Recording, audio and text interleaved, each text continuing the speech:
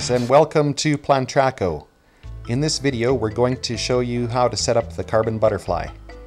First thing you want to do is open up the box, remove your instruction manual and CD-ROM. There's an FMS flight simulator cable that you can plug into your transmitter and computer to learn to fly. And then there's a warning label that says don't touch this butterfly until you've read that warning label. Um, there's your LP30 lithium polymer Bahoma cell and your transmitter.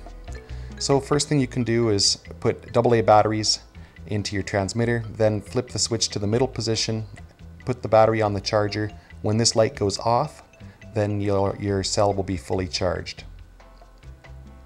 When your cell is charged, you can remove the LP30 cell, flick your transmitter to the far right to the on position, and then pick up your carbon butterfly airplane and attach the lithium polymer cell. We pick it up with two fingers just as shown on the leading and trailing edges of the wing and transfer it to the other hand and get our LP30 lithium polymer cell to schnick right in place. Notice you hear the tones coming from the actuator in the tail. Those tones indicate what frequency we've synchronized to. Now we can arm our throttle by pushing the joystick forward and back. Now we'll have our throttle active You'll have to notice that, that the throttle won't work on the first sweep forwards. You have to bring it all the way forwards and all the way back to arm the throttle. And now we can take a look to confirm that our rudder is doing what it should. As we move the stick to the right or left, we notice that the rudder follows the motion. Okay, it's time for a test flight.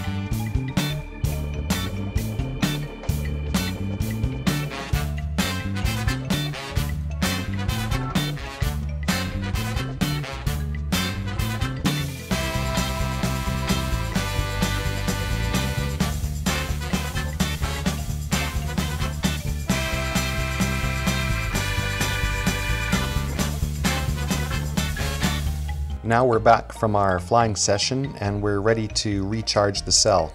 We can usually fly for about 10 minutes on the Carbon Butterfly. So we take off the cell and hold on to the Carbon Butterfly and put it back into its place. Turn the charger to charge mode in the middle position, open the door and attach the cell. It will just snick into place. And when uh, the this LED goes out, that means the cell is recharged. That takes about one hour to recharge, 10 minutes flying time. So back in the box and we're good to go next time.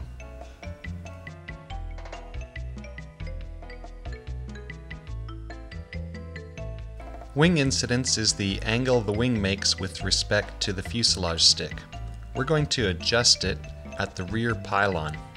What we do is to grip the pylon with one hand and then squeeze the fingers underneath the wing and squeeze the wing up just like so and that takes off some incidence from the wing.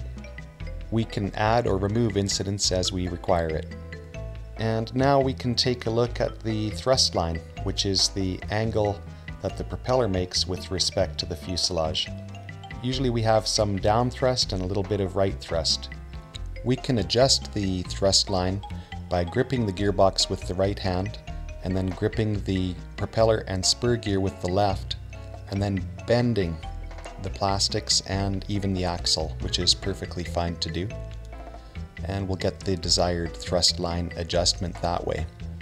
After we make the uh, thrust line adjustment, we would do a test fly and see if it needs to have a little more tweaking. Here we can see we have about 2 or 3 degrees right thrust, which is about right. The actuator hinge line is made of a plastic material, and sometimes we can find that the rudder will be stuck in kind of a, a sideways position.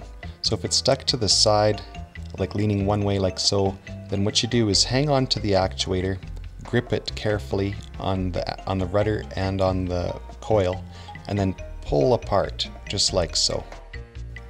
A gentle stretch is all you need, and then you'll find that the actuator rudder is nice and loose again, which is exactly what you want. Thank you for your attention and have fun with your carbon butterfly.